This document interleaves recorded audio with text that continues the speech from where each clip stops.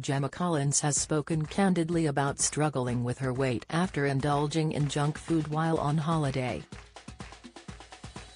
The 41-year-old has been keeping her fans up to date with her impressive weight loss journey after shedding two and a half stone when she took part in Dancing on Ice back in 2019. Gemma has since lost another stone by making small lifestyle changes. The former TOWIE star recently enjoyed some time away with her family and fiancé Rami Hawash, where she allowed herself to indulge in milkshakes and club sandwiches. Since coming back, Gemma said she has struggled, but is keen to get back on track with her fitness regime. I'm going to get my walks in, I'll be honest I've struggled since coming back off holiday. I've struggled dialing zero for a club sandwich. I've struggled having milkshakes. I've struggled not having all of that since I've been back and I'm just trying to get my walks in again, to keep that momentum flowing you know walking is so good for you, she said on the Gemma Collins podcast. The TV personality added, it circulates the blood, it gets the heart pumping, it gets your mind clear and it's just so good for you to keep moving. The GC has always been open with fans about her issues with weight and binge eating. As a teenager she was a size 10 and had a healthy approach to food, but a succession of heartbreaks sent her eating spiraling out of control. Every time I felt an emotion I would eat to block it.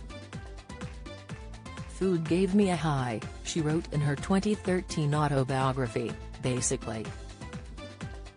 My life as an Essex girl. I had always been slim so I never felt guilty, she explained, admitting she would think nothing of eating three chocolate bars in a row followed by two burgers from McDonald's.